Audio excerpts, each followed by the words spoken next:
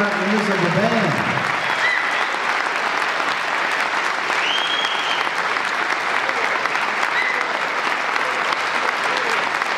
Our younger soloist in our band today,